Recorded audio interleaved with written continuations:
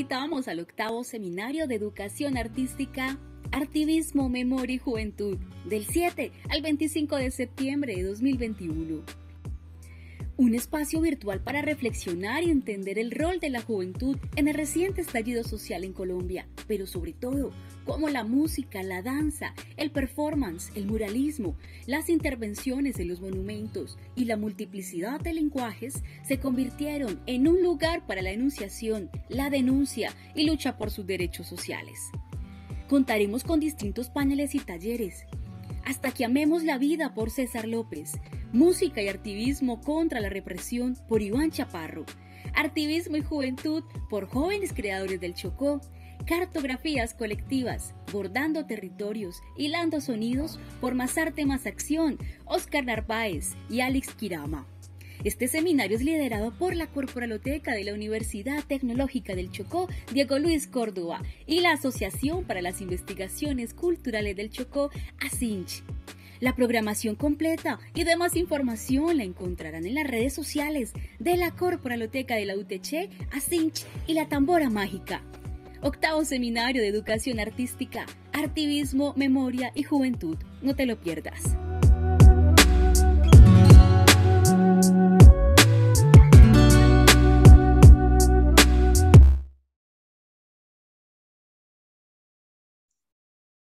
Bueno, buena tarde para todos y todas. Muchísimas gracias por estar presente aquí en nuestro octavo seminario de educación artística, artivismo, memoria y juventud.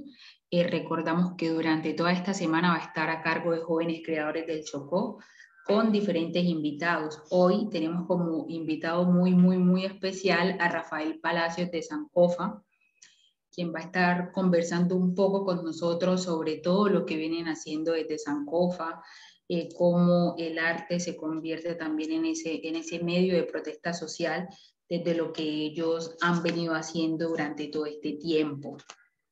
Entonces, de verdad, un saludo muy especial a Rafa y muchísimas gracias por aceptar esta invitación. Muchas gracias a ustedes por invitarme. Bueno, Rafa, esta es una conversa muy chévere que vamos a tener aquí en medio de este seminario y que pues vamos a, estar conversando un poco sobre, sobre el Rafa y sobre lo que es Sankofa y vamos a irle mostrando como a todos nuestros invitados un poco de qué es lo que hace Sankofa. Entonces, lo primero que queremos que nos cuentes es cuáles son las raíces de Rafael Palacio. Bueno, eh, mi papá es del Chocó, es de Monguido, y, yo creo que básicamente esas son mis raíces. Digo esto porque yo fui a la, a la ciudad de Quindó cuando tenía cinco años a, a, conocer la familia de mi papá que siempre venían a Medellín por alguna razón, por, por estudio, por trabajo o por incluso por gestiones que tienen que ver con la salud. Entonces yo conocía el Chocó a través de ellos, pero comencé muy temprano a inquietarme y a preguntarme cómo vivían mis tíos, mis primos que llegaban a, a, la casa nuestra aquí en Antioquia. Y mi tía me llevó cuando tenía cinco años y me pareció que yo estaba en el paraíso. Fue, fue, un momento muy, muy revelador para mí. Además también porque llegué en las fiestas de San Pacho. Entonces es poder tener eh, una imagen de Quibdó, de la cultura, de la danza, de, de los cachés, de toda, de toda la fortaleza convertida en alegría y en festejo de toda la resistencia que tiene el pueblo chocuano. Y eso, por supuesto, me enamoró y, me identificó. Y, luego cuando yo vine para, para Medellín estaba muy triste porque yo quería quedarme viviendo allá. Y bueno, como que yo siento que nací en Antioquia, pero definitivamente mis raíces son, son chocuanas. Es el lugar en donde yo me puedo identificar como ser humano, es el lugar donde me puedo identificar como afrodescendiente. Y durante toda mi vida eh, seguí yendo a Quibdó, en la, en la, niñez, en la adolescencia, en la finca de mi abuelo en Monguido, eh, hasta que me fui para Francia. Es el único periodo en que no regresé a Quibdó cada año. Pero luego al llegar de Francia otra vez, empecé a trabajar y he tenido una relación constante hace 25 años con el Chocó en diferentes municipios. Entonces yo me siento más chocuano que antioqueño. Divino, Rafa. acá, acá lo adoptamos con los brazos muy, muy, muy abiertos. Rafa, ¿cómo encuentras esa pasión por la danza?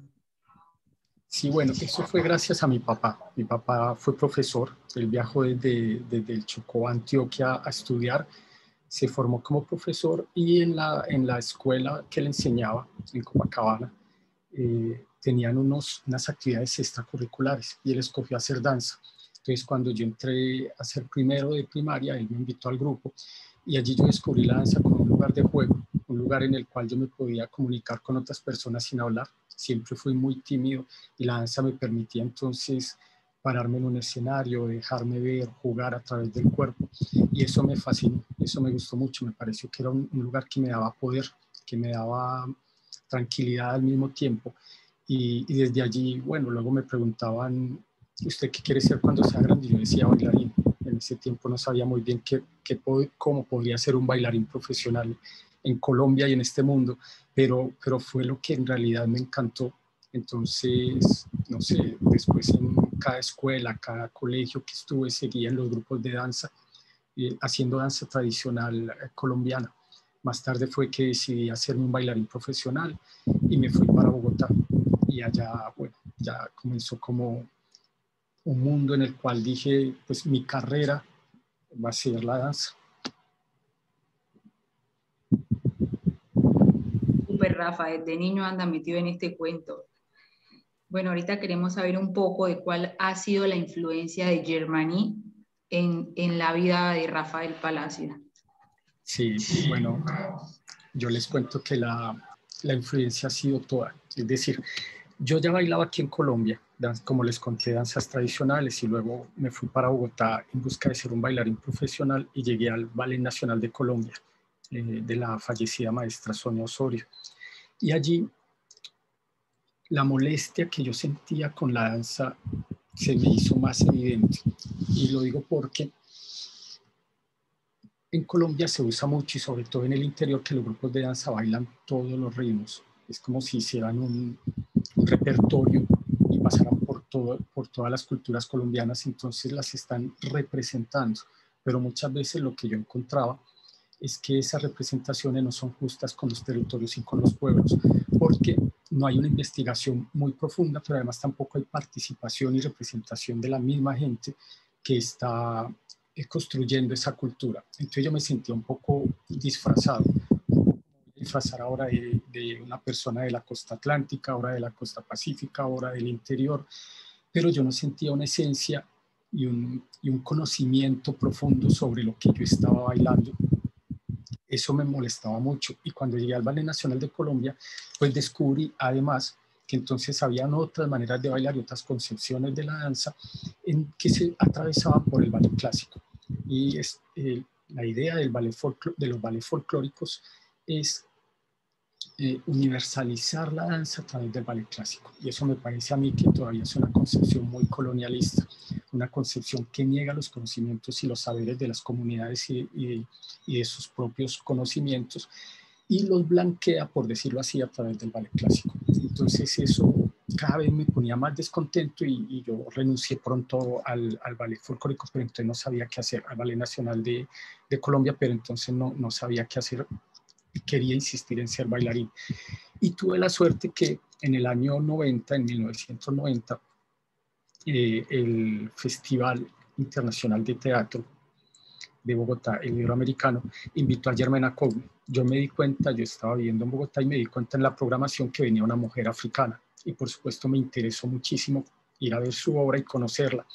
Yo busqué en, llamé a muchos hoteles de Bogotá preguntando si allí estaba eh, hospedada la maestra Germana Cogni, hasta que por fin la encontré en uno y la llamé, eh, me visité con ella y nos vimos en el lobby. Y yo me le presenté, le dije que yo era un, bailarín afro-colombiano y que me interesaba mucho conocerla y charlar con ella y que era la primera vez que yo tenía en Colombia la oportunidad de ver una artista africana ella fue muy generosa, me invitó al ensayo, me invitó a la función, ella tuvo tres días función y todo el tiempo yo me le pegué como un niño desamparado y ella como una mamá me acogió y me empezó a hablar de la técnica de danza afrocontemporánea. Y esto para mí fue como una iluminación, fue como si, si por fin en mi vida yo encontrara la luz de, de dónde iba a haber yo conocimiento para convertirme en un bailarín profesional afrocolombiano. Luego de esos tres o cuatro días muy intensos de charlas con ella, eh, ella se fue y me, y me dejó el libro de Mudra, y me contó pues que la técnica había nacido en Senegal en los años 1975 y 1980 a petición del presidente Leopoldo Senghor y fue un laboratorio porque este presidente que además era un poeta lo que quiso fue crear una escuela de danza eh, contemporánea africana, es decir, una, una contemporaneidad en la danza que reflejara la identidad de los africanos. Y África, como no es un país, es un continente, entonces es una diversidad cultural muy grande. Ellos recibieron a bailarines de 54 países. Estos bailarines con sus danzas tradicionales crearon esta técnica contemporánea. Ella me dijo que ya estaba viviendo en Francia y yo me fui detrás de ella. Me fui para Toulouse, al sur de Francia. Y en Toulouse tuve la oportunidad de tomar talleres con ella. Éramos bailarines, creo que de 150 países del mundo recibiendo clases con ella. Y luego ella me recomendó que me regresara a París a estudiar con la maestra Irene Tazambeo de Burkina Faso, que estudió con ella y fue finalmente la maestra que me formó, no solo en las técnicas de danza afrocontemporáneas, sino en la filosofía africana. Entonces, eh, a Germana Cogni yo le debo mi, visión de la danza y, la oportunidad de convertirme en un bailarín afrodescendiente que es capaz de ver y de reconocer en la historia situada de los cuerpos afrodiaspóricos una manera de comunicarnos con el mundo. Super Rafa, es como una aventura de emociones ahí que en la búsqueda de lo que uno puede ser y quiere ser es muy inspirador esa historia porque nos muestra que debemos seguir el camino que, que estamos trazando y el que queremos lograr. Bueno, eh, ¿dónde descubrió la palabra Sankofa? Bueno, la palabra Sankofa yo la escuché en varios países de, de África. Eh, Sankofa es una palabra que significa regresar a la raíz y también es una filosofía. Es conocer el pasado, comprender el presente y poder elaborar pasos firmes hacia el futuro. Es una palabra eh, que, que, se crea en Ghana con el pueblo Akan, que son orfebres, y, y, a mí esa palabra me llegó mucho. Hay personas en África que se llaman Sankofa. Entonces, e, esa palabra me sonaba y me daba vueltas en la cabeza y cuando ya regresé a Colombia y decidí montar mi propia compañía de danza, pensé que era la palabra más oportuna para mi recorrido y para los sueños que yo tenía de traer a Colombia y de crear en Colombia un puente eh, cultural, político, espiritual, filosófico con el continente africano. Por esto de conocer el pasado. Entonces ya no solamente fue como antioqueño irme para Quibdó para conocer mis raíces, sino además llegar hasta África para conocer y llenar ese vacío histórico que nos creó la modernidad. Entonces yo dije, no, pues definitivamente ya estoy bautizado hace rato y ese tiene que ser el nombre que tenga mi compañía y mi proyecto cultural. Súper, Rafa. Bueno, se me adelantó y nos contó sobre también de una vez la filosofía de Sankofa. Anaís, ¿nos ayudas, porfa, con el primer video? Vamos a ir mostrando unos videitos de Sankofa por aquí.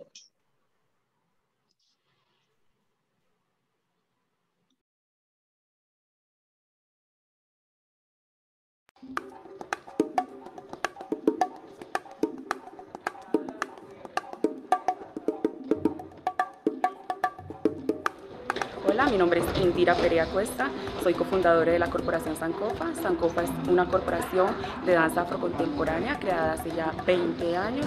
Eh, Sancofa significa regresar a la raíz en un vocablo africano, pero más que una palabra es una filosofía de vida, es conocer el pasado para vivir el presente y sembrar un futuro a paso firme.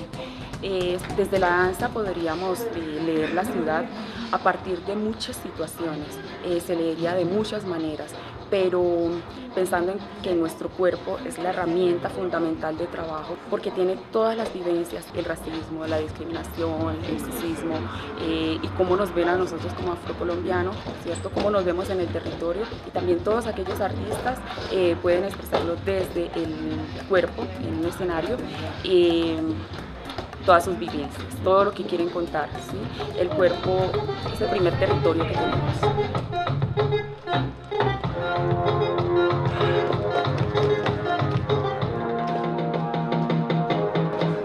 La parada juvenil también vamos a, contar con un músico en vivo quien va a estar atento a todo lo que hagamos en las diagonales de movimientos y sabemos que la música en vivo da otra sensación, ¿sí? Nos lleva como a ese lugar de donde venimos, a esa tradición, a toda eh, esa fuerza que tiene la música tradicional, ¿cierto? Que la música y la danza convergen entre sí y es lo que nos da como esa vivencia. Vamos a tener danza tradicional, mm, es regresar de alguna manera a la raíz para todas estas personas que lo conocen y los que no, eh, aprendan un poco de lo que somos como afrodescendientes, de lo que tenemos en el país, de que son otras maneras. Entonces, vamos a estar en la parada juvenil para decir eh, que no hay una sola manera, que hay muchas maneras y que no, no es posible una sola historia. Alcaldía de Medellín.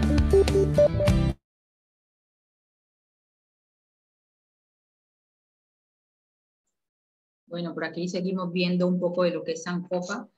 Nos gustaría que nos contara Rafa un poco de quiénes integran Sancofa. Bueno, Sancofa está integrada por, por afrodescendientes que de todas partes de Colombia, es decir, jóvenes, hombres, mujeres, adultos que llegan a Medellín, como llegaba mi familia, por oportunidades de trabajo, de estudio, buscando una mejor salud, una atención a la salud. Y luego en Medellín se dan cuenta que es muy importante poder seguir preservando sus tradiciones y sus conocimientos, es decir, cargar con el territorio en los hombros, no, no apartarse de todo lo que han sido toda la vida, sino al contrario, poder a través de lo que conocen dialogar con esta nueva ciudad y con sus exigencias incluso con el racismo estructural que hay en la ciudad de Medellín, con la discriminación, con la exclusión. Y yo creo que una de las maneras más, más potentes que nosotros tenemos de, de enfrentar este mundo y de compartir con él es a través de nuestra propia cultura y en el caso de Sancofa de la danza y de la música. Entonces Sancofa está integrado, por ejemplo, como, con Indira, jóvenes que vienen de Quildó, que vienen, eh, Jason de Bagado, María viene del Cantón de San Pablo, eh, Feliciano, por ejemplo, y José Luna, músicos, vienen de Urabá, eh, Camilo viene de Tumaco, en fin, han pasado personas de Cali, de, Bogotá, de, Barranquilla, porque bueno, ya llevamos 25 años, entonces es mucha la gente que ha pasado.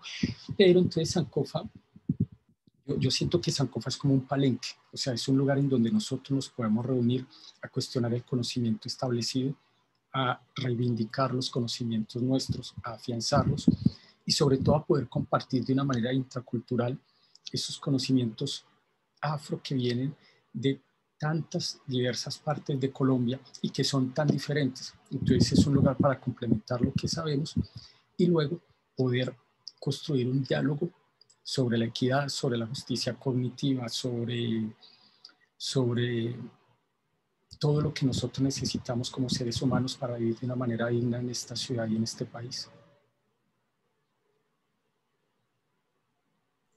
Rafa, me encanta esa definición de, de palenque para Sancofa.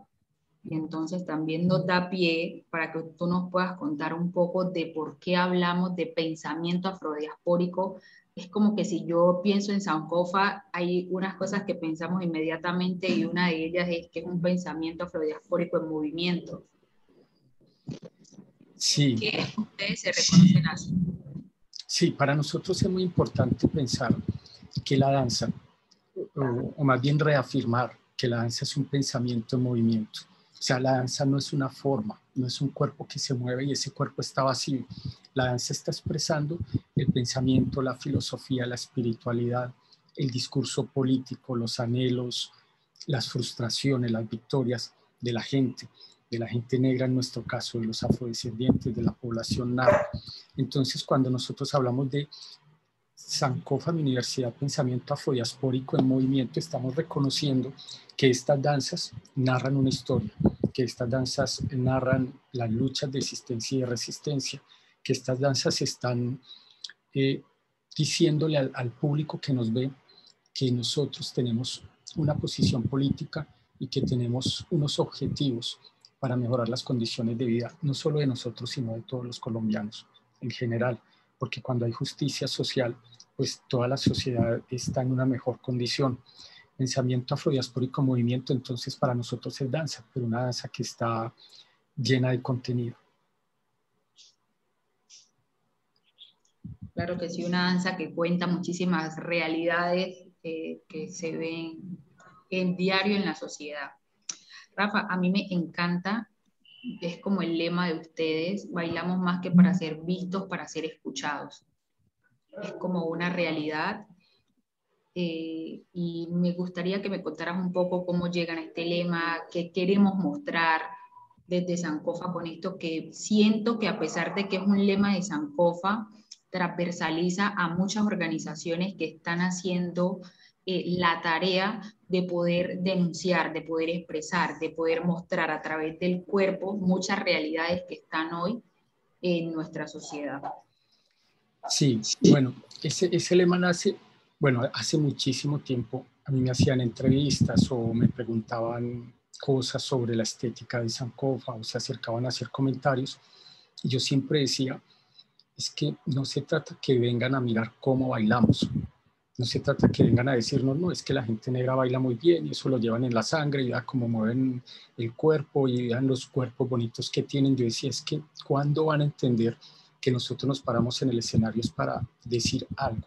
para decir que estamos aquí, que hemos sobrevivido, que somos sobrevivientes, que tenemos que cambiar la sociedad juntos. O sea, todos, todas las danzas de la gente afrodescendiente tienen detrás una historia de sangre, pero también tienen detrás una historia de victorias.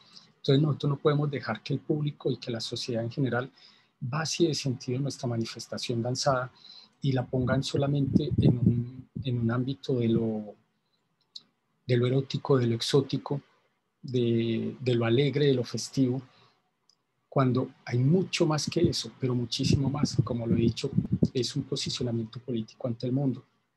Entonces era muy importante que yo encontrara la manera de, decirlo claramente y que yo encontrara una manera en que mucha gente dijera, este es el lema de Sankofa.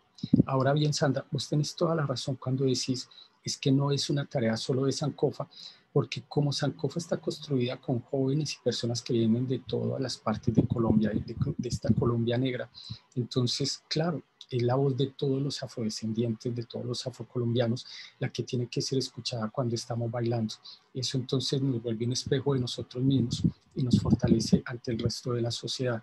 Bailamos más que para ser vistos, para ser escuchados, es definitivamente nuestra, nuestra manera de gritarle al mundo que, ya es suficiente de que nos estén ridiculizando, minimizando, estereotipando a través de un cuerpo que baila es para defenderse y no para agradar a los demás.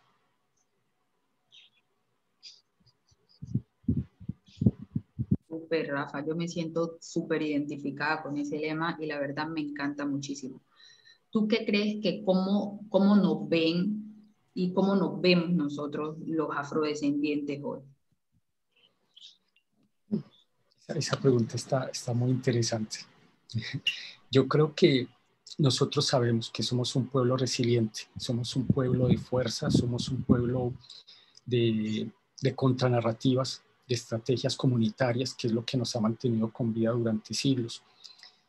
Pero también hay un mundo eh, colonial, hay una colonialidad que todos los días nos dice que deberíamos estar avergonzados de nosotros, que todos los días nos dice que el cabello de nosotros no está bien, que no es bonito, que no es elegante, que todos los días nos dice que nuestras danzas son erotismo salvaje, que nos dice que no aportamos al capitalismo. O sea, todos los días encontramos en la publicidad, en la misma academia, eh, un montón de, de estereotipos dañinos que pueden hacer que nosotros dudemos de nosotros mismos. Entonces nos toca hacer una tarea muy fuerte para que todas las manifestaciones que nosotros construimos en la vida, en, este caso específico las manifestaciones artísticas, refuercen nuestro autoestima y sobre todo den un contenido real a los jóvenes, a los niños y a las niñas sobre las prácticas artísticas que nosotros desarrollamos. Es decir, no se trata de enseñarles a bailar, eh, no sé, una jota, una cumbia, un mapalé eh, como una repetición, sino que hay que enseñarles los contextos geográficos, políticos, sociales económicos en los que los pueblos afrodescendientes creamos nuestra propia cultura, porque como es un reflejo de lo que vivimos, finalmente se convierte en una resistencia y se convierte en una victoria ante una sociedad que nos oprime. Entonces, eh, nos vemos, nos vemos de una manera fuerte, y tenemos que seguir trabajando unidos para que esa fortaleza, esa fortaleza que nosotros tenemos no sea debilitada por, por el racismo estructural. Súper, es una pregunta interesante y una mirada muy chévere que tiene Rafa frente a esto y que nos va incluyendo y nos, sigue colocando de presente los retos sociales que enfrentamos. Por acá estoy visitada por el aguacero, entonces todo eso que escuchan es trueno. sí. Bueno, Rafa, ¿cuáles consideras que son los retos que hoy tenemos que enfrentar desde el arte para poder posicionarnos y para poder construir como ese futuro y esas nuevas visiones y miradas que, que, queremos construir? Bueno, sí, los retos son muchos. Los retos, nosotros tenemos el doble de retos que, que, muchas otras sociedades o que la sociedad dominante, porque nosotros tenemos que darle sentido a nuestras prácticas, encontrar una estética propia que sea capaz de dialogar con las estéticas universales para poder ser competitivos, pero sin dejar de ser nosotros mismos. Es decir, cómo yo puedo pararme en un escenario en cualquier parte del mundo, ser leíble, pero eso no quiere decir que me haya asimilado o que esté construyendo una, una forma de hacer arte que no me pertenece. Entonces, ahí ya es un gran reto, es un laboratorio que nosotros tenemos que hacer todos los días para afianzar lo que sabemos y para poder expresar lo que nosotros sabemos de una manera en que los demás nos puedan entender. Además de eso, claro, está el reto de lo económico.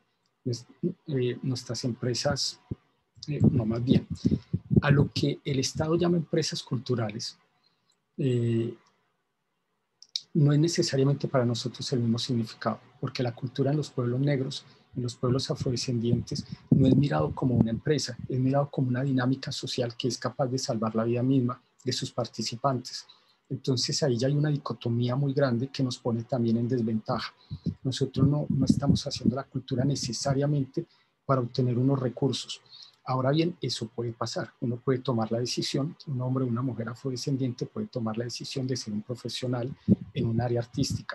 Y entonces, en esa medida, todos sabemos que el racismo estructural en Colombia hace que nosotros los afrodescendientes tengamos también menos recursos económicos y eso otra vez nos pone en desventajas. Entonces los retos es cambiar también las políticas culturales en Colombia para que nosotros podamos tener un apoyo verdadero y real para poder desarrollar nuestros, nuestras manifestaciones y poderlas llevar a un nivel de una alta calidad que pueda representar a Colombia y que además los colombianos se sientan tranquilos siendo representados por nosotros los afrodescendientes, porque también hay un temor a eso.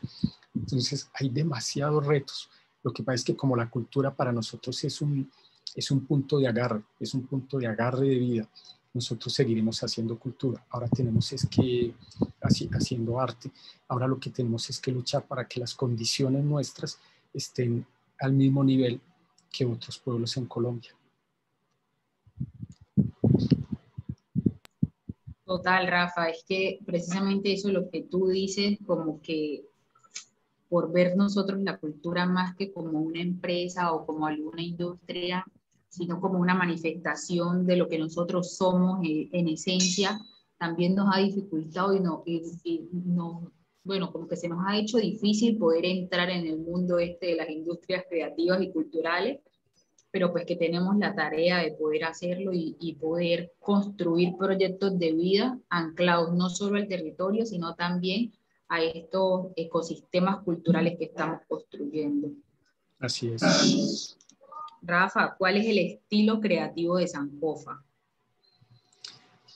Bueno, yo no sé si nosotros tenemos un, estilo creativo definido, yo no creo, porque como no, como Sankofa es al mismo tiempo un laboratorio, es un laboratorio en donde cuando llega nueva gente y llegan constantemente, llegan con unas metodologías, unas técnicas diferentes, unas maneras de ver el arte y todo eso empieza a alimentar a Sankofa. Perdón, entonces yo diría que el estilo puede ser es la escucha, es decir, escucharnos entre nosotros mismos y darnos cuenta de que hay múltiples maneras de hacer arte y esas herramientas en las que empiezan a construir una manera de, de trabajar, de pensarnos y de vernos en el escenario. Super, Rafa. Eh, Anaís, vamos a proyectar el segundo video, por favor.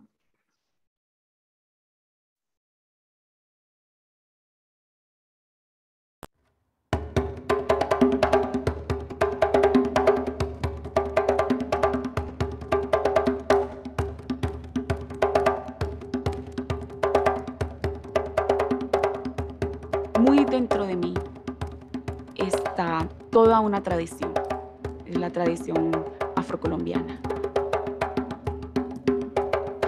Decimos que bailamos más que para ser vistos, para ser escuchados.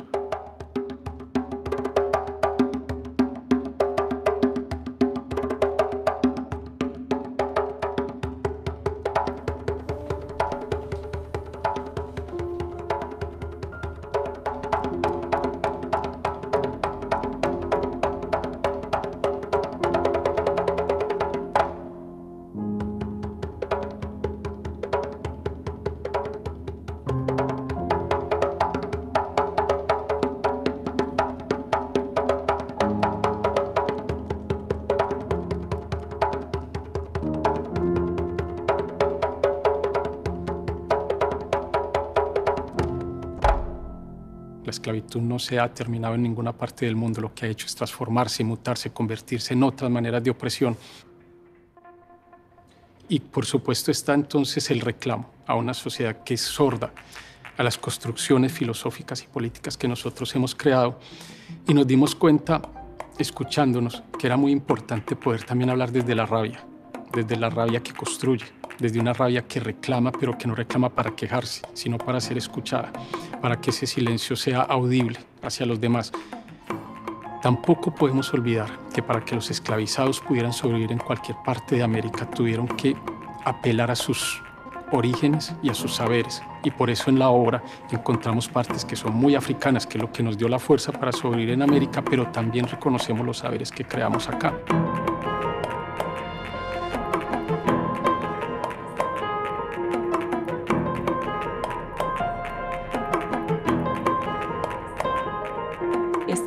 La ciudad de los otros, habla de las vivencias de todos los afrocolombianos, eh, de todos los sentires, de todo lo que nos ha agobiado durante tanto tiempo. Es muy fuerte, es muy fuerte. Sus los movimientos son desde el gozo, desde la tranquilidad, desde lo que somos como afrocolombianos que vamos a una fiesta, pero también como vemos esa potencia que cuentan nuestros cuerpos cuando decimos no queremos más, somos personas que hemos ayudado a la construcción de país y merecemos ocupar un lugar digno dentro de la sociedad. Y es importante que seamos escuchados en el mundo entero, quiénes somos, de dónde venimos y qué es lo que queremos.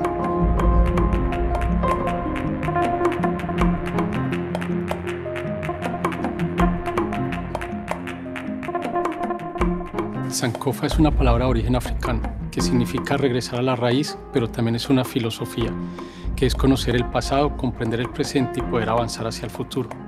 Somos gente negra, pero con diversidad de culturas. No se baila lo mismo en el Chocó, de donde viene Indira, que de Tumaco, de donde viene Camilo. Y Sankofa se nutre de todo eso, porque son jóvenes que vienen del Pacífico. Algunos saben de tradición, otros saben de danza urbana. Yo sé de danza africana y nos unimos para eso, para dialogar y para poder compartir esa diversidad de saberes. A mí me interesa mucho como director, como bailarín, crear un lenguaje de danza afrocolombiana contemporánea, es decir, un lenguaje que está hablando de la actualidad, que habla de lo que nos sucede en este momento, pero que tiene en cuenta sus raíces, que tiene en cuenta un pasado, para poder entender quién es en el día de hoy. Y lo que nos interesa es eso, poder hablar desde un cuerpo que es capaz de transgredir lo que lo encierra, desde un cuerpo que es capaz de transformar sociedades, desde un cuerpo que, que se escucha a sí mismo para proponer una mejor sociedad.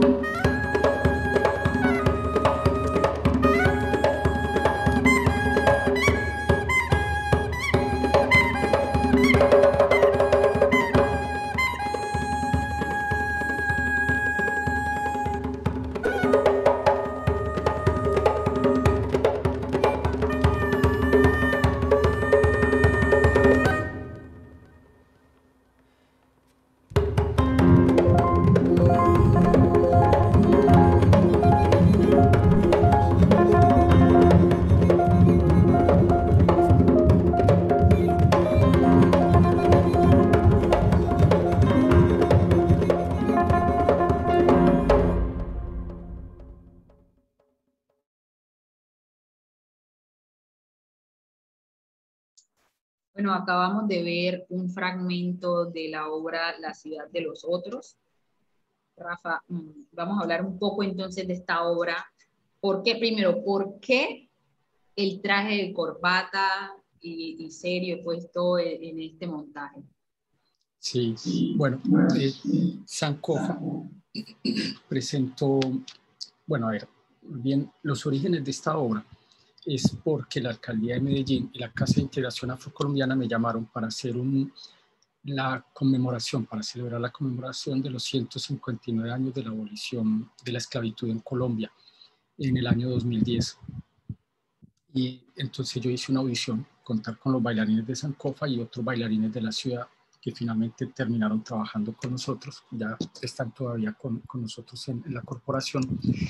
Y lo que nosotros pensamos en ese momento es cómo vamos a hacer una obra que conmemore eh, la abolición de la esclavitud. Y llegábamos en común acuerdo que no nos interesaba hacer una oda a la esclavitud, es decir, empezar a llevar al, escenario cadenas de personas que están sufriendo por la trata durante la travesía por el Atlántico, o sea, empezar a recordar algo que el público pudiera de pronto no entender eh, la historia que queríamos contar. Entonces, cuando nos reunimos, fue muy importante la pregunta, ¿cómo creemos nosotros que se visualiza la esclavitud en estos tiempos modernos? Y cada uno de nosotros empezó a contar diferentes historias, anécdotas que nos han pasado en Medellín en relación al racismo. Y allí es en donde nosotros también nos hemos dado cuenta que, que el racismo es una perpetuación, una perpetúa la esclavitud. Y la esclavitud entonces, como lo, decía en el video, no ha terminado, sino que se transforma. Es una, es una esclavitud que nos niega el derecho al trabajo, que nos niega el derecho a la educación, que nos niega el derecho a una vivienda digna en la ciudad de Medellín o en cualquier ciudad del país. Es decir, es, es, es una condición social que nos oprime y que no nos permite estar al nivel eh, social, económico y político de la cultura dominante. Frente a eso, nosotros quisimos que la, corbata y el, y el, traje formal, como, lo ha llamado, eh, fuera un símbolo, un símbolo de protesta. No, no es porque nosotros queremos en el escenario decir que es así como nos tenemos que vestir para que nos puedan dar un trabajo sino que lo que estamos diciendo es que nos obligan a vestirnos de esa manera y asimilarnos a una cultura occidental para podernos tener en cuenta y para podernos eh, incluir en sus, en sus políticas y en sus, en sus territorios y en sus espacios de poder. Entonces el traje en la ciudad de los otros es un cuestionamiento occidente, es un cuestionamiento a la homogeneidad, es un cuestionamiento a, una clase social que tiene el poder, que considera que todos debemos lucir iguales para poder alcanzar la humanidad que ellos tienen y la humanidad que a nosotros nos niegan.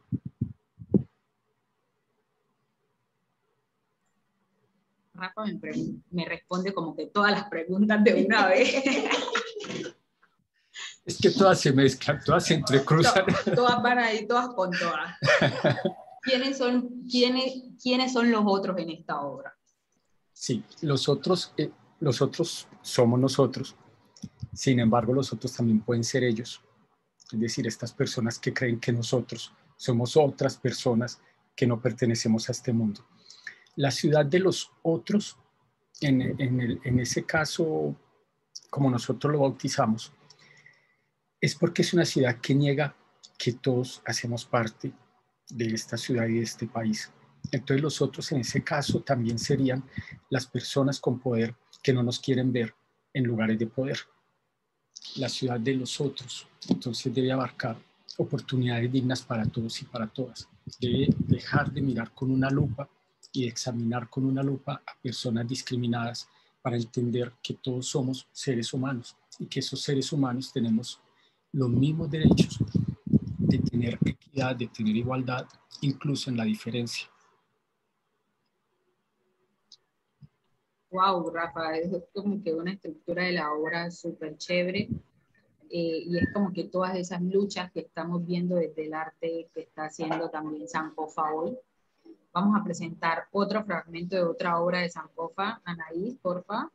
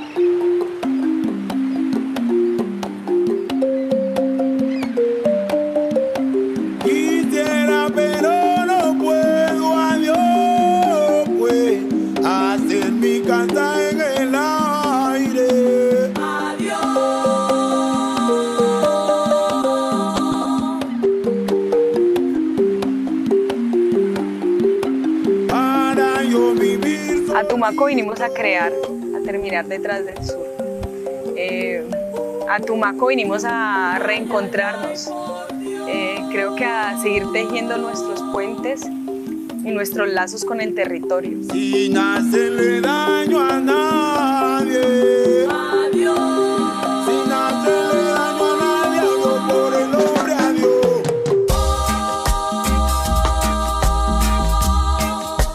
Bueno, espero que con esta narrativa podamos llegar al público de una manera fuerte, que entiendan que realmente nuestras luchas siguen persistentes.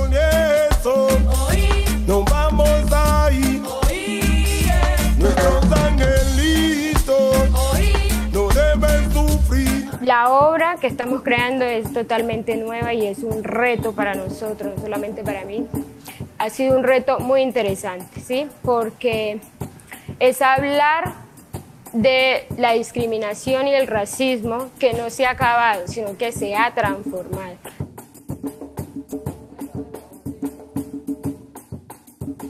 Bueno, a nosotros nos interesa abordar esta obra inspirados en el libro Chango el Gran Puta de Manuel Zapata Olivella. Detrás del Sur, entonces, es una reflexión que hacemos que parte de la literatura, pero que se acerca luego a las vivencias de nosotros como afrodescendientes. Manuel Zapata Olivella nos cuenta la génesis del pueblo afro, de ese, de ese mundo que sale de África, pero que tiene que encontrar aquí una manera de unirse para poder enfrentar todas las vicisitudes, todos los problemas que nos acechan. Y ese mundo no ha desaparecido, no es una cosa histórica, ese mundo está todavía en el presente. Lo que más me ha llamado la atención de la obra Chango el Gran Puta es que cuando nos adentramos en el libro, nos damos cuenta del horror de la trata esclavista que sucedió durante toda la historia. Dos cosas importantes que resalto en lo personal de esta obra son los 20 años que se demora el maestro Zapata en realizar este libro. Y para realizar ese libro en ese tiempo tuvo que viajar, tuvo que conocer, indagar, eh, leer, vivir ciertas cosas que le permitieran luego interiorizar interiorizar un libro que no hablaba de él, sino que hablaba de una cantidad de personas, de millones de personas que fueron esclavizadas, que fueron asesinadas, maltratadas, ultrajadas. Hacer una creación en danza, pues ha sido maravilloso. Es dejarse permear por los olores, colores, sabores, o sea, el mar intenso, la lluvia de todos los días, la humedad que produce en nuestro cuerpo, ¿cierto? Y esa sensación como de ahogo al principio, pero que luego ya tu cuerpo se va como acostumbrando. Venimos a crear la región, conectar con, con la tradición directamente en el pueblo, con la gente, con, con el lugar. Entonces esa conexión ha permitido que se marque la diferencia. Que se marque la diferencia porque encontramos acá unas herramientas que en la ciudad no, no tenemos, que nos limita a crear nuevos sonidos, eh, otros instrumentos que tal vez allá son difíciles adquirirlos. Hablando del territorio, eh, algunos de mis compañeros también vienen de los otros pueblos afros de, de, Colombia, ¿cierto? Del Pacífico Norte, eh, de alguna región de, del Urabá, antioqueño. Entonces, también más, más que yo acompañarlos a ellos, siento ese respaldo también, porque ellos vienen cargados de lo mismo, ¿cierto? De las mismas luchas. A la una de la mañana este arrullo de prendió. La danza que hacemos también es antirracista, porque cuestiona mediante una dramaturgia, un discurso y unas técnicas de baile expresiones cotidianas de racismo que son reproducidas por instituciones del Estado y medios de comunicación. Por ejemplo, se cuestiona y subvierten estereotipos sobre la gente afro, suposiciones sobre los modos de ser de la gente afro y en general representaciones sociales. La danza que hacemos en Sankofa es antirracista porque se nutre de elementos narrativos tomados del territorio para revalorarlos y darles centralidad. La danza que hacemos irrumpe en un sistema social racializado y moviliza sensibilidades que son una apuesta política por incomodar y mostrar la dignidad de las afrodescendencias.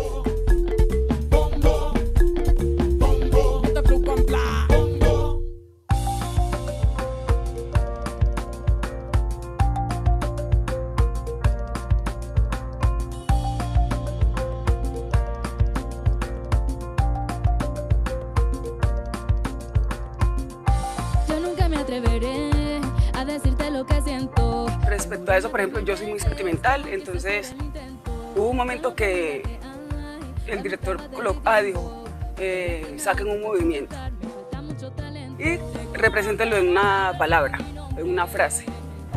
Y de una me transporté a mi abuela. Y me puse sentimental y entonces, pues, pero son momentos que, no sé, eso surge. Que siento por ti como un castigo que se aferra a vivir siempre conmigo en tu mundo fijo que yo no existo y no creo baby que tú me Pues lo que yo siento en esta creación de la obra de Detrás de Sur es que han surgido múltiples emociones, como tristezas, alegrías, eh, esperanzas, desesperanzas, también mucha rabia, ¿cierto? Como son, son múltiples. Y que cada, cada artista, como que eh, dependiendo de lo que se esté trabajando también, se acerca a ciertas emociones. Eh, todos sentimos de manera diferente y todo lo expresamos de manera diferente. Para nosotros es muy importante tener un cuerpo eh, que pueda expresar este tipo de emociones, ¿cierto? No un cuerpo vacío, o sea, no, tener un cuerpo en la escena muerto, por decirlo así. Es un cuerpo que está contando una historia, ¿sí? Y que esa historia te está permeando y que te permite eh, generar este tipo de emociones, ¿sí? Eh, no, son sentimientos encontrados, pues en algunos momentos eso mismo que te da tristeza también te está dando rabia. Entonces no sabes con cuál de las dos energías sí, sí. Con, con esa eh, tristeza o, melancolía pues que te puede estar dando o sacar la rabia. Eh, entonces ahí buscamos para encontrar eso, esos, esos lugares. Nunca me atreví a enviar cartas y poemas que eran para ti. Y por eso, amor, te dedico esta canción. Eso es lo que siente mi tímido corazón. caminar delante de gente mestizas. Delante, eh, detrás de las personas mestizas. Eh, más que todas las mujeres, cuando llevan los bolsos, los morrales, hacen como esto. Como que ajustarlo, como que, bueno, viene atrás un negro, como suelen decirnos, y me va a robar. Y entonces empiezan como a caminar rápido. Entonces, yo lo único que hago es, si ellas van aquí adelante, adelantármeles a ellas. Yo no, yo, no, yo no te voy a robar. Yo vengo caminando igual a usted. A mi papá lo mataron muy, muy, yo estaba muy pequeña. Entonces era muy difícil que ella me mantuviera en Medellín. Entonces yo tenía que trabajar para poder sostenerme, pues. Yo, empecé a trabajar en discotecas de bailarina. Y en las discotecas, cada vez que yo iba a hacer audición, yo iba, iban monas, iban pelinegra, bueno, todas mestizas. La única negra era yo. y casi nunca pasaba esas audiciones. Y yo, no, muy pocas veces. Entonces eh, me hacía pues amiga de las chicas y, luego me, enteré que, que, era que no recibían las negras. Incluso siempre que bajo al centro con unas personas, nos roban. Nos roban celulares. Yo dejé de bajar al centro porque bajar al centro era un problema con la policía y un problema con los ladrones. En los colegios y en las universidades, eh, aquí en Colombia, en las escuelas, no se leen autores como Manuel Zapata Olivella. Y eso es, una, es un gran desequilibrio, es un desconocimiento de, los saberes del pueblo afrodescendiente, de esa manera en que nosotros vemos el mundo de nuestras propias filosofías. Y abordar un libro como, como el del maestro Manuel Zapata Olivella o leer literatura afrodescendiente alrededor del mundo es, hace parte de una lucha antirracista porque es poner el conocimiento nuestro al mismo nivel que cualquier otro tipo de, conocimiento de otras culturas. Perdón, pedimos perdón por lo que sea que hayamos hecho.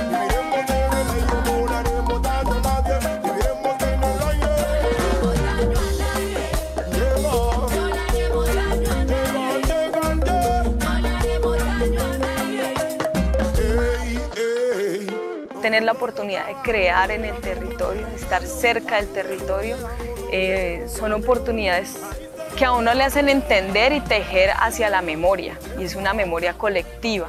Y creo que eso es una apuesta antirracista.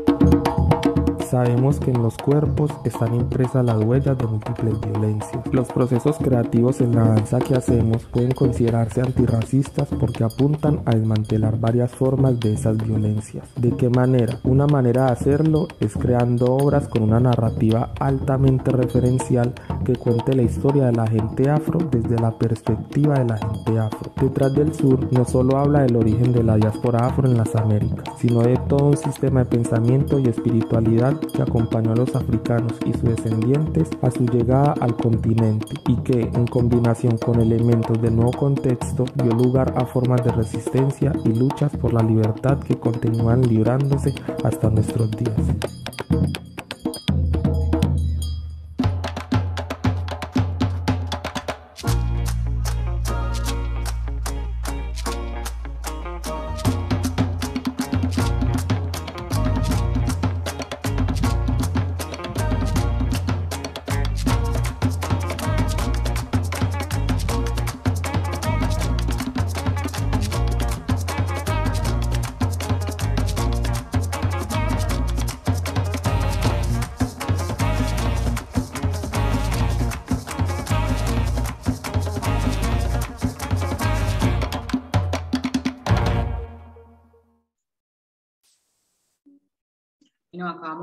Acabamos, de ver otra de las obras de Sankofa y queremos preguntarle a Rafa qué significó para ustedes crear esta obra a partir de este libro de Manuel Zapata Olivella. Manito, prende el, micrófono. Y acabé de decir algo así súper inteligente que ya se me olvidó. Para, no, decía que para nosotros es un proceso muy, muy importante, porque es poder tener la oportunidad de leer el, maravilloso libro de, Manuel Zapato Olivella, que habla sobre la génesis del pueblo afrodescendiente en las Américas y en Colombia, y podernos dar cuenta que, que Manuel Zapata hace muchísimos años ya estaba proyectando no solo la historia nuestra, sino también las problemáticas que nos acechan hoy en día. Eh, eh, fue, es como un visionario que dice, hoy estamos atravesando por esto y, van a venir siglos y van a venir años en los que la lucha va a tener que ser la misma. Entonces él nos habla del Muntu. El Muntu es, es ese pueblo al que Changó le echó una maldición.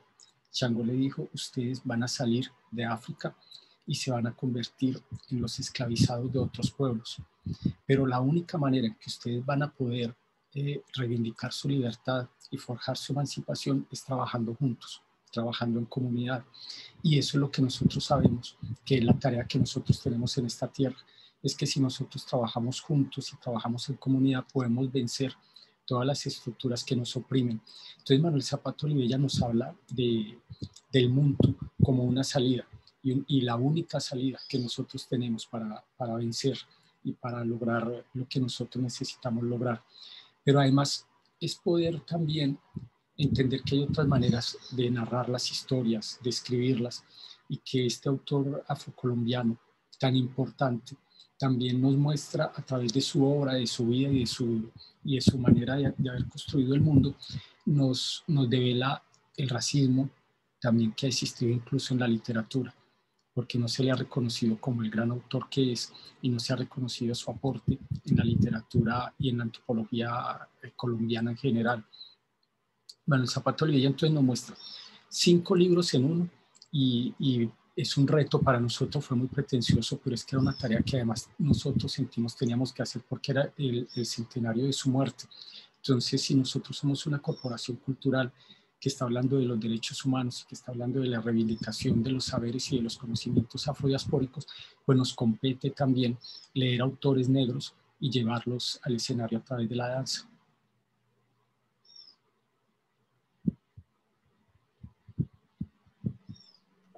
Bueno, otra cosita, ¿por qué terminar de crear la obra en Tumaco? Ah, sí, eso, eso sí que fue, mejor dicho, lo mejor que nos pasó durante el proceso de creación. Porque, bueno, es por muchas razones. Una de ellas también es porque estamos en, todavía en pandemia. Por el momento en que nosotros la estábamos creando y teníamos el compromiso con el Teatro Mayor, porque es una coproducción finalmente, en Medellín estaban cerrados todos los espacios en los que podíamos ir a ensayar y nosotros hemos creado, así como con ustedes, como con JH, hemos creado una familia extendida y nos sentimos que vamos aquí y tenemos un lugar a donde ir a trabajar y aprender. En Tumaco es la Fundación Tumac, a través de, de Harold Tenorio, que es un gran amigo mío y que hemos trabajado tanto juntos, incluso con él también estuvimos en África, en la pasantía de Sankofa. Entonces yo lo llamé pidiéndole auxilio y diciéndole cómo está la situación en Tumaco y qué tal si nos vamos 20 personas para ya terminar la obra y como él es el director de Blue Compla, entonces también le pedí que nos creara la música junto a los músicos de Sankofa. Entonces fue un laboratorio maravilloso. Nosotros llegamos al, al, territorio y otra vez fue sentirnos en Palenque, porque entonces está toda la comunidad afro en Tumaco resistiendo y, y, curando, y curándose de la pandemia también a través de sus conocimientos ancestrales con la medicina del, del matarratón y otras, y otras hierbas que nosotros sabemos que, que curan esta enfermedad. Eh, llegamos a Tumaco entonces a terminar la segunda parte de la obra, que es toda la parte que ustedes ven que, tienen, que los bailarines tienen las máscaras, en fin. Y, y, estuvimos 20 días allá, creando música, creando coreografía, sintiéndonos en un territorio libre, por todos lados libre, y eso nos ayudó muchísimo a que la obra en la segunda parte tenga una fuerza que brota desde el territorio, desde la energía que nos da el territorio afrodescendiente.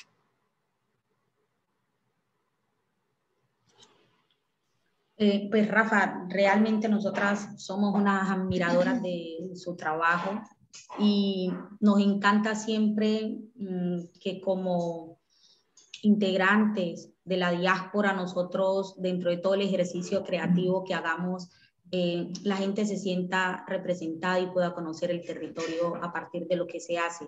¿no? Ahorita vamos a entrar en una conversación como, bueno, Rafa, estos juntes que hace Blue Compla, jóvenes creadores del Chocó, ¿por qué? ¿Cómo potencian estos juntes la práctica artística? En el caso de Otache nosotros tenemos mucho qué decir, pero eh, en este caso, como cuál es la intención de, de Rafael Palacio cuando se junta con estas otras organizaciones de, del territorio eh, para complementar, para apoyar, para acompañar la práctica artística. Sí, bueno, y para complementarnos nosotros también, ¿cierto?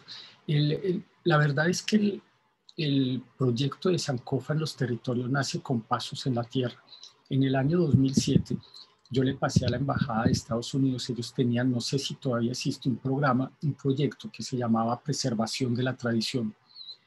Y desde que yo me fui para, para África y para Francia y regresé a Colombia, yo, por ejemplo, al primer lugar que fui a trabajar en, en comunidad fue, con, fue el Kibdo, fue un proyecto que se llamaba Ese Arte Paz, eh, en el año, creo que en el 2000 2003 o 2004 con un artista africano y, eh, que se llamaba Boete.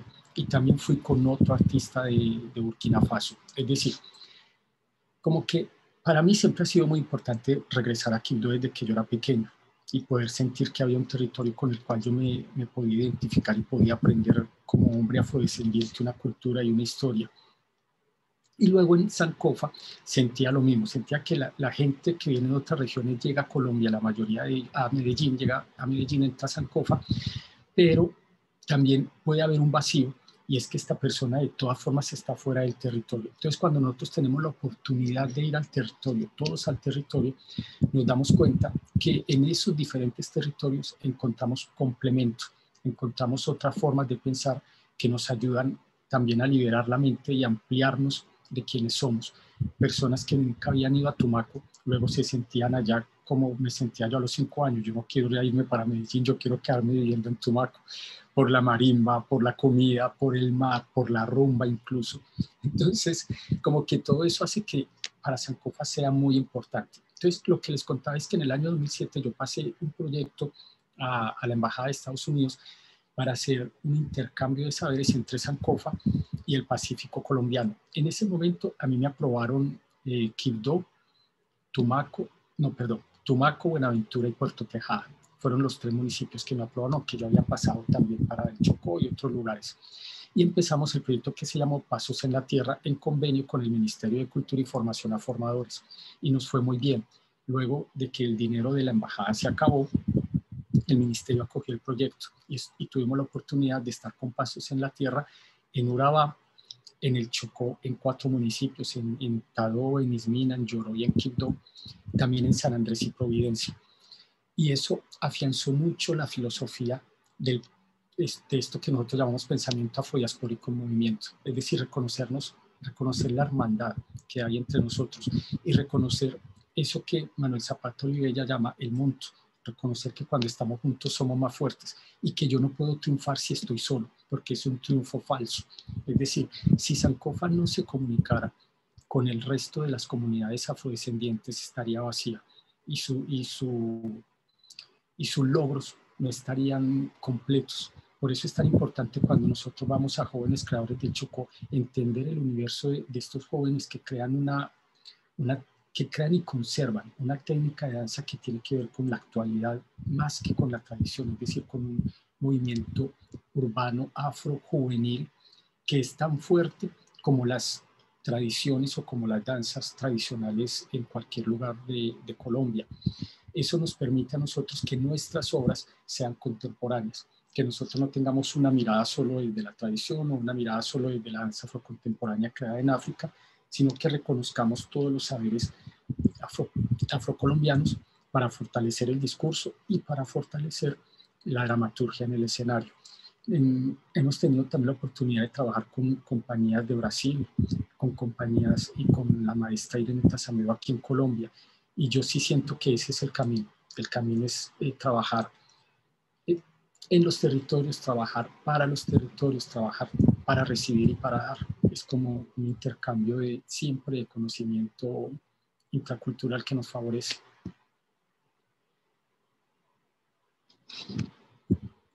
Bueno, y como seguimos hablando de este eh, movimiento pues afrodiaspórico, este pensamiento afrodiaspórico en movimiento. Vamos a vernos otro pedacito de otra obra de Sankofa. Anaís, porfa.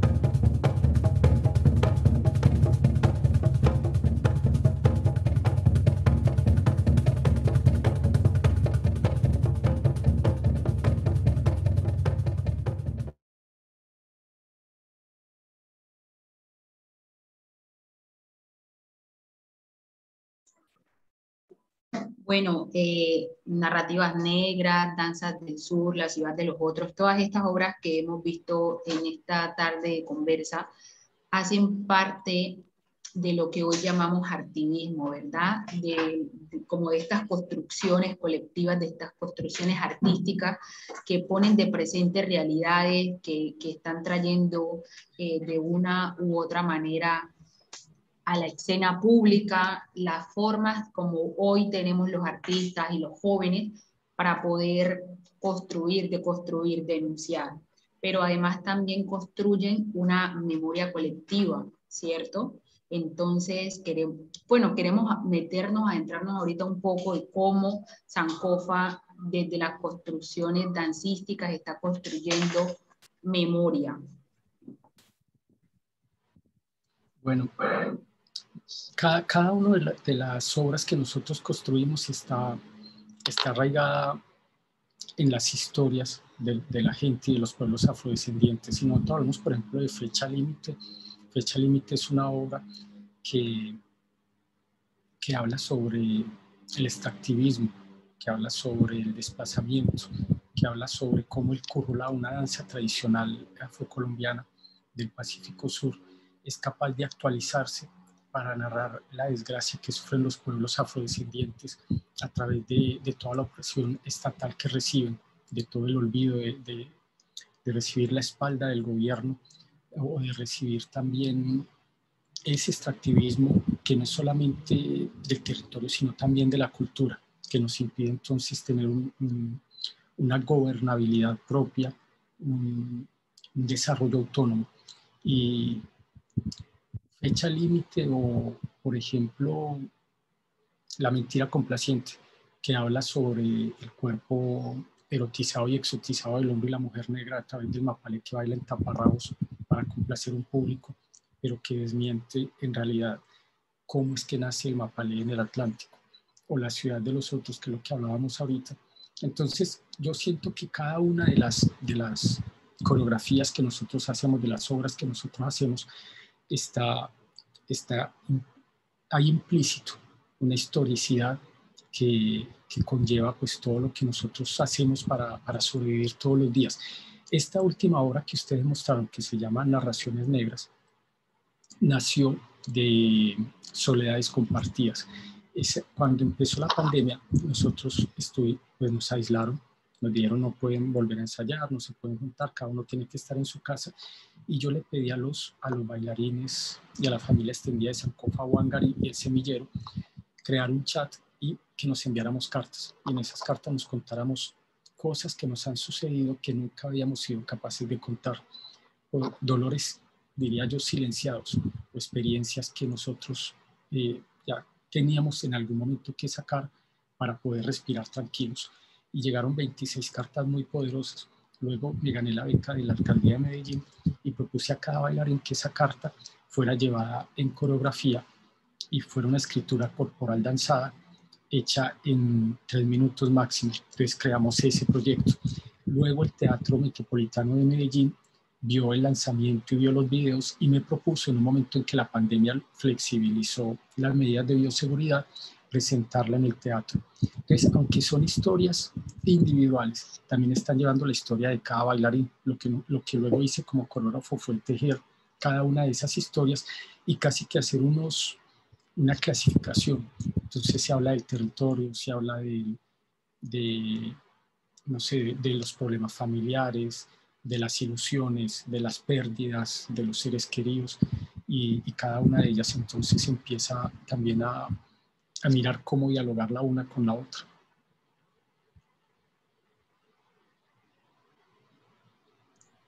Sí, Rafa, es que indudablemente todas las obras de Sankofa tienen inmerso como que las tres cosas que, los tres elementos constitutivos de este seminario, que son activismo, memoria y juventud. Quisiera ahorita que, que empezáramos a hablar un poco de la obra Revolución Pacífica Bailes de Resistencia que crea Sankofa con jóvenes creadores del Chocó. Vamos a pasar un video cortico de la obra y entonces ahí empezamos la, la conversa.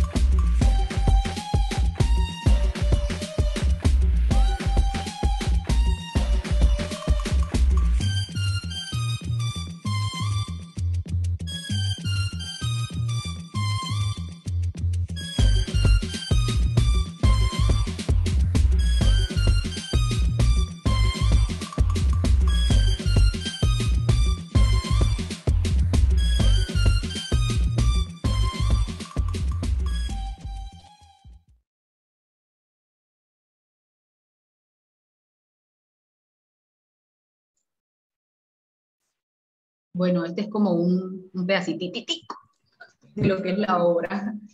Pero bueno, yo quisiera aquí que tanto Rafa como Catherine nos contaran qué significó este proceso de construcción colectiva para cada uno, para Sankofa y para jóvenes creadores.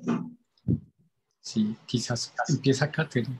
Bueno, esta, esta colaboración que hicimos con Rafa, creo que como que marcó un antes y un después para jóvenes creadores del Chocó en el campo de la danza. Eh, pues quizá, bueno, Rafa no, no alcanzó como a, a, dimensionar el impacto de su trabajo en la vida de los jóvenes creadores del Chocó. Primeramente, pues conseguimos a una persona eh, muy respetuosa de lo que es jóvenes creadores del Chocó. No hubo una práctica colonizadora, saqueadora, eso que estamos acostumbrados que lleguen al territorio. Rafa vino muy despojado de ese tipo de prácticas y al contrario nos ayudó a potenciar eh, la práctica artística de jóvenes creadores del Chocó.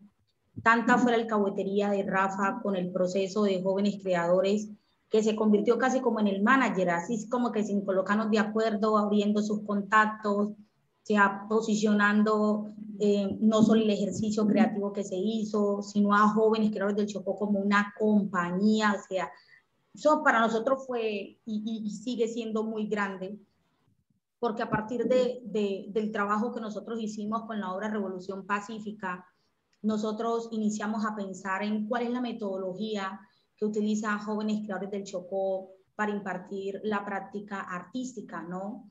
Eh, a partir de eso, como, cuáles son los niveles de exigencia que como jóvenes creadores del Chocó nosotros nos vamos a generar y qué tipo de danza también nosotros vamos a seguir creando a partir de aquí. Entonces, hoy jóvenes creadores del Chocó tiene una compañía de danza urbana Hoy Jóvenes Creadores del Chocó se ha convertido en un referente de la danza en este país, porque, hombre, la gente por, por, la danza exótica no es que, aún eso sigue como entrando en la mente de la gente y que acá hay este tipo de danza que se llama exótico y lo hacen en el Chocó, eso no calaba mucho, ¿no?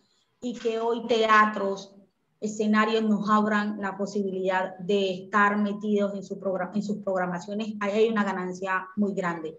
No solo por el componente, bueno, quizás, bueno, yo, cuando hablamos con los muchachos es que esto no es un tema de solo viajes, ¿no? Este es un tema de que una organización como Jóvenes Creadores del Chocó está en unos espacios que históricamente han estado cerrados para nosotros, que históricamente se nos ha estado diciendo es que lo que ustedes hacen no reúne los parámetros para estar en este teatro, en esto y en esto y en esto, ¿no? Es como que hoy que nosotros nos podamos parar desde la dignidad y decir lo que nosotros colocamos sobre la escena es esto, esta es nuestra puesta en escena, y con esto nos vamos, hay un ejercicio de poder muy grande y ahí sí, siempre le agradecemos muchísimo a Rafa por habernos acompañado en este proceso, por haber casi como que colocar su nombre al lado de nosotros diciendo, lo garantizo, lo recomiendo, vaya, que yo tal cosa, como que ese voto de confianza, vea, ese compinche, esa minga muy poco se ve en este sector. Yo creo que Rafa da un ejemplo muy, muy grande, muy bonito, mucha humildad, mucha solidaridad de lo que se debe hacer cuando se llega a un proceso, ¿no? Como un hombre negro coloca todas sus plataformas, toda su experiencia al servicio de una organización para nosotros emergiendo y que hoy jóvenes creadores eh, sea considerado un referente de, de, la danza urbana de este país, pues es, es muy grande. Yo creo que no, no me alcanzaría el tiempo como para reconocer el impacto de, de Rafa en, en, la vida de jóvenes creadores de Chocó, pero si ustedes ven los artistas de jóvenes creadores, siempre dicen, son todos unos profesionales, sea el autoestima, súper seguros, súper posicionados, la presencia en el escenario está muy clara. Hay muchas cosas que seguir trabajando, pero son muchos los, las ganancias y los logros que hoy tenemos con todo este ejercicio de acompañamiento. Rafa, diseñamos un currículo informativo, dijimos, es que no queremos eh, que los muchachos se paren detrás de un promotor artístico, nosotros lo llamamos promotores artísticos y repita movimientos, sino que nosotros queremos llenar de contenidos para que este ejercicio de posicionamiento de estos jóvenes en la práctica artística siga siendo muy poderoso y la gente siga teniendo muy claro para dónde va y cómo va. No, es, no, no, aquí no estamos improvisando, aquí tenemos como claro cuál es nuestra rutina y nuestro camino. Entonces diseñamos ese currículum formativo, o sea, ellos ven clases dentro de esas clases, no solo las que están relacionadas con la danza, sino que tenemos una asignatura para aprender inglés, porque dijimos, necesitamos llegar a otros escenarios y es importante hacerlo. Tienen módulos de liderazgo, proyecto de vida, construcción de o sea, como que transversalizamos un poco de contenidos, así que ellos ellos mismos, los de la compañía, le dan clases a los otros semilleros que tenemos de formación, tienen su intensidad horaria. O sea, es todo un espectáculo que a nosotros nos llena de muchísimo, muchísimo orgullo y que esa base la logramos luego de haber hecho este intercambio con Rafael Palacios. Y también, eh, pues, y, como que quiero resaltar, no es un, no es como que, bueno, nos relacionamos solo por Revolución Pacífica y a partir de allí se acabó eh, el, el, compinche entre Rafael Palacio y Jóvenes Creadores del Chocó, ¿no? Seguimos relacionándonos. Hoy lo estamos haciendo nuevamente con Indira Palacios, Indira Perea, perdón, que está creando una obra que se llama Cuestión de Dignidad con Jóvenes Creadores del Chocó. Así que nosotros siempre le decimos, Rafa, como que mil y mil gracias por llegar a nuestro proceso para generar disrupción, para generar empoderamiento, para posicionar también entonces, como que este tipo de alianza muy pocas veces se, se consigue. Sí, qué, qué, bonito todo lo que me cuentan y todo lo que decís, eh, Catherine. Yo tampoco sabría por dónde empezar, porque de verdad que fue un proceso, yo, yo les conté que ya estábamos haciendo pasos en la tierra desde el año 2008, pero, pero es verdad que haber llegado a jóvenes creadores del Chocó también cambió mi vida de verdad que si hay un antes y un después de ustedes, y ese, ese después de ustedes es que sigue, ¿cierto? No es como que hicimos esto y ya, entonces eso me cambió, sino que todavía es un constante cambio en la relación que nosotros tenemos. A mí me parece que es, fue un espacio en el que yo aprendí muchísimo, en el que yo puse a disposición mis conocimientos, todos los días haciendo la tarea de que mis conocimientos no estuvieran por encima del de ustedes, sino al contrario, al servicio de ustedes, al servicio de esos jóvenes que llegaban todos los días después del colegio, que caminaban eh, algunos bastante eh, al sol para llegar a las 2 de la tarde puntuales al ensayo. Eh, en fin, es una tarea constante la que nosotros tenemos que hacer para descolonizarnos, porque hablar de descolonización es solamente que yo haya hecho la, la especialización en epistemología del sur, entonces me dan un diploma y ya estoy descolonizado.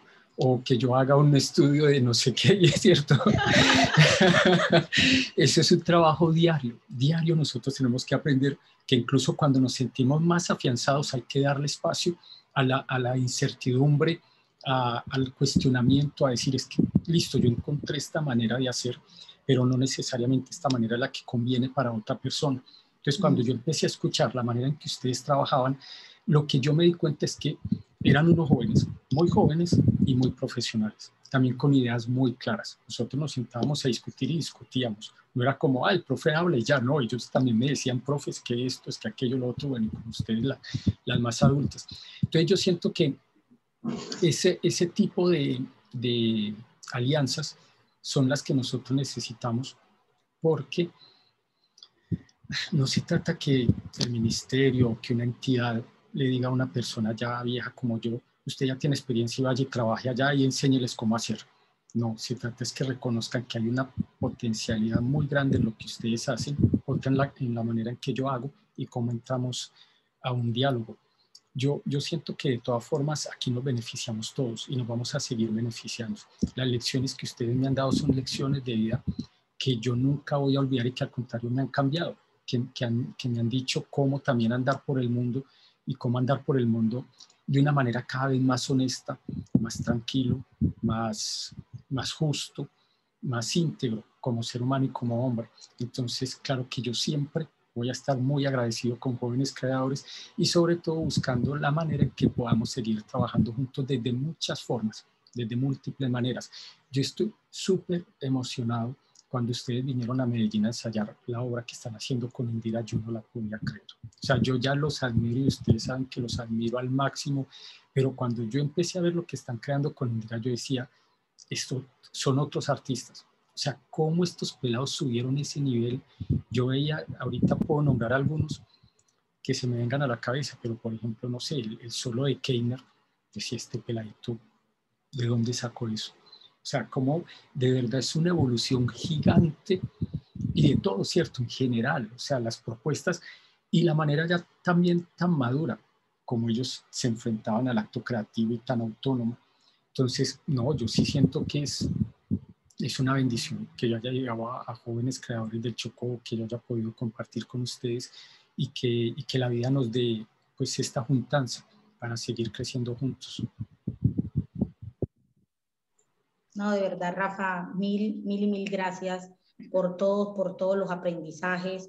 Ojalá y, tuviéramos la, la, posibilidad de seguir generando juntes en el territorio para seguir empoderándonos, para seguir encontrándonos, para seguir resignificando las cosas, para seguir sentando nuevas narrativas. Yo creo que hay unos ejercicios muy, muy poderosos que, que merecen de verdad todo el acompañamiento. Yo aquí quisiera, yo quisiera quedarme como con algunos significados de Rafa, con unas, unas palabras. Yo voy a decir las palabras y Rafa me va a decir, para mí esto significa esto.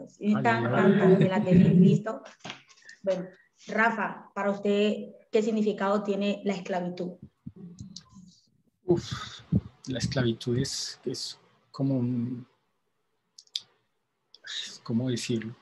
Es, es un dolor muy grande que, todavía no desaparece y que esta sociedad además quiere negar. Cuando uno, cuando uno está hablando y cuando uno se refiere a la esclavitud como un punto de partida para las desgracias que, que a nosotros nos acorralan la gente dice, no, pero es que eso ya pasó. Ustedes porque hablan todavía de eso, dejen de ser resentidos.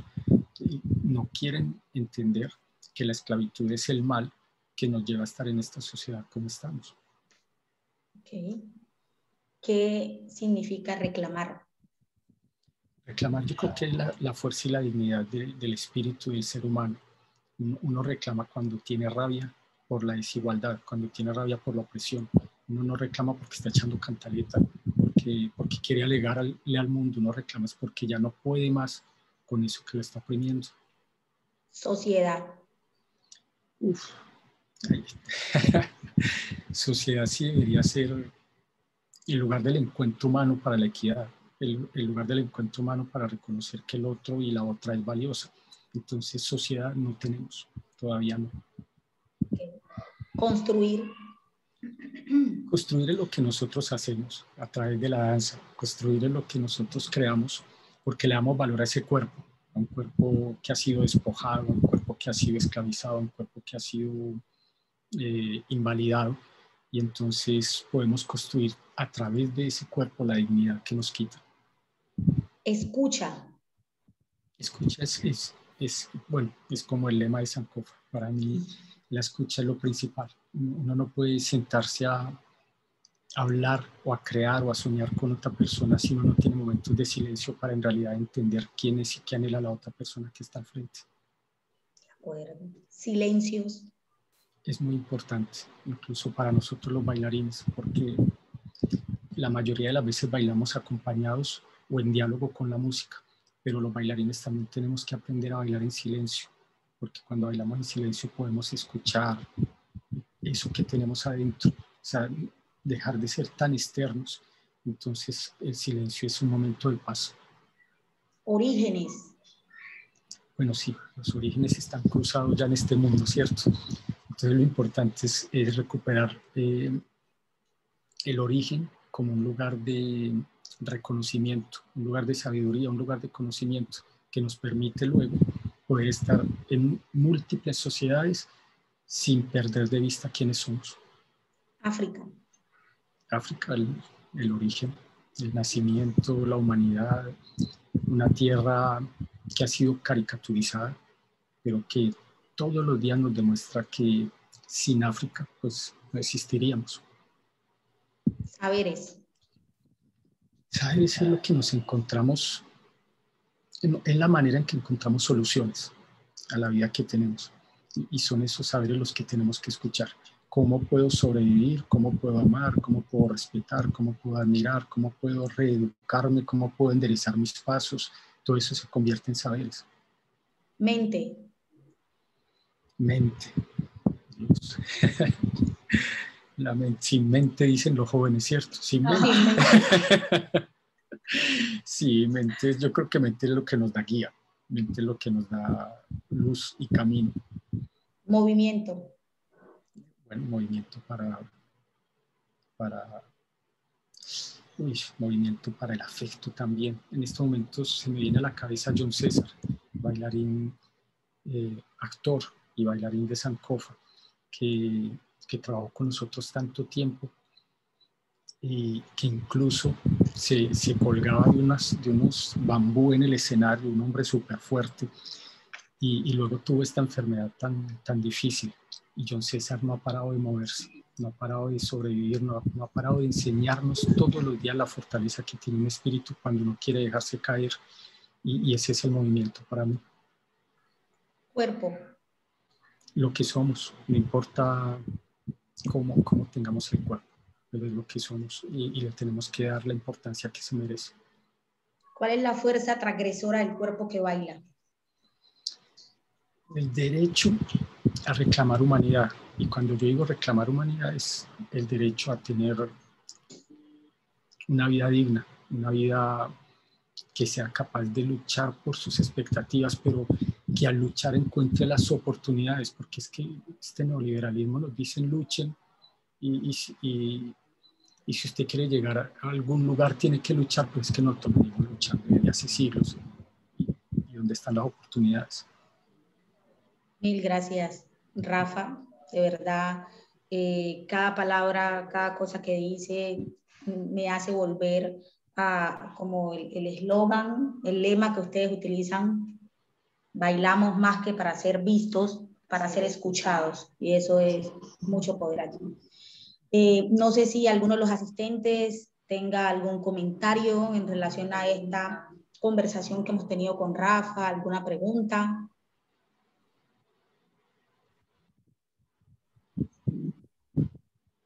Dice Leslie Durán, gratitud. Angélica Flores está pidiendo la palabra.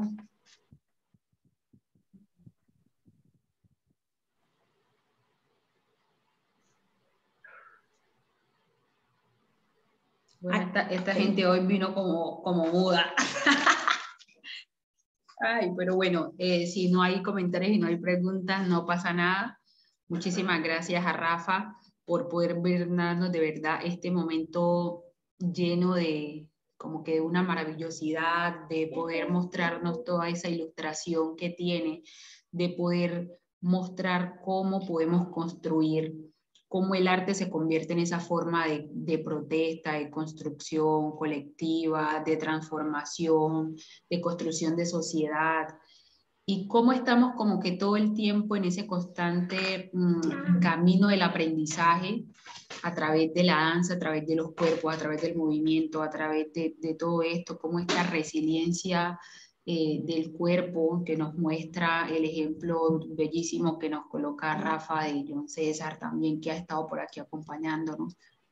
Infinitas gracias de verdad y la invitación es a que continuemos con estos procesos eh, de resistencia que nos han permitido mostrar el arte como esa herramienta de construcción, pero también de construcción.